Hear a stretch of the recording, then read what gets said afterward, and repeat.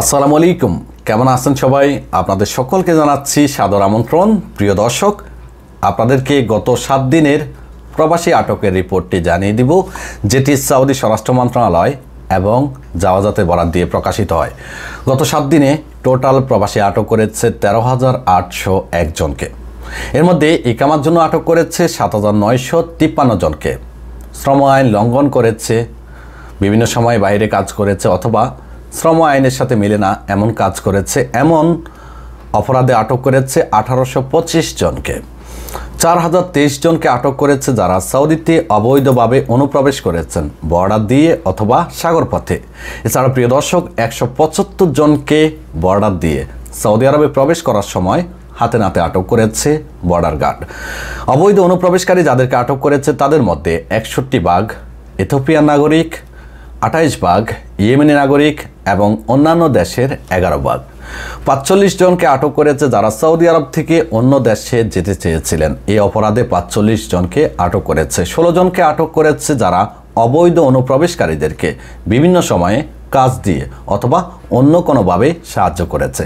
প্রিয় দর্শক, খেয়াল রাখবেন, অবৈধ অনুপ্রবেশকারী, বিশেষ করে ইয়েমেনি এবং ইথোপিয়ান নাগরিক। তারা কিন্তু বর্ডার দিয়ে অথবা সাগর পথে সৌদি আরবে প্রবেশ করে। যদি তাদেরকে আপনি কাজ দিয়ে অথবা গাড়িতে করে এদিক সেদিক নিয়ে যাওয়া অবস্থায় আটক হন, তাহলে কিন্তু আপনাকে বড় জরিমানার মুখামুখি হতে হবে, সাজার মুখামুখি হতে হবে। খেয়াল রাখবেন, অবৈধ অনুপ্রবেশকারীদের কাছ থেকে দূরে থাকবেন। এছাড়া প্রিয় দর্শক, টোটাল গত কয়েক সপ্তাহে আটক হলো এক লক্ষ তিন হাজার পাঁচশো সত্তর জন। চার সপ্তাহ নয় বেশ কয়েক সপ্তাহে। এর মধ্যে মহিলা হলো বারো হাজার ছয়শো উনচল্লিশ জন, পুরুষ হলো নব্বই হাজার নয়শো একত্রিশ জন। দেশে পাঠিয়েছে আট হাজার সাতশো ছিয়াশি জনকে। উনিশশো তিয়াত্তর জনের কাগজপত্রের সমস্যা আছে বিদায়, জেলে আটক আছে। এছাড়া নব্বই হাজার ছয়শো উনপঞ্চাশ জনের কাগজপত্র তাদের মিশনে পাঠানো হয়েছে, সত্যায়ন করার জন্য। সত্যায়ন করা হলে এখান থেকে দাফে দাফে লোক নিজ নিজ দেশে পাঠানো হবে। প্রিয় দর্শক, এখানে অনেকে হয়তো মনে করেন যে শুধুমাত্র বাংলাদেশি আটক। না, সৌদি আরবের যত দেশের প্রবাসী বসবাস করে, সব দেশের প্রবাসী মিলিয়ে টোটাল আটক হলো তেরো হাজার আটশো একজন। আটক অভিযান অনেকটাই কমেছে। আগেও কম ছিল। আমরা আগেও বারবার আপনাদেরকে সতর্ক করেছি যে আটক অভিযান কিন্তু তেমনটা চলছে না। এখন যে অভিযান চলছে, এটি সম্পূর্ণ স্বাভাবিক নিয়মে স্বাভাবিকভাবে চলছে।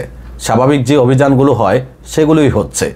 তাই আপনি চেষ্টা করবেন সতর্ক থাকার জন্য, আইন মেনে চলার জন্য। গুজবে কান দিবেন না, অযথা ভয় পাবেন না। ভালো থাকবেন, সুস্থ থাকবেন। আল্লাহ হাফেজ।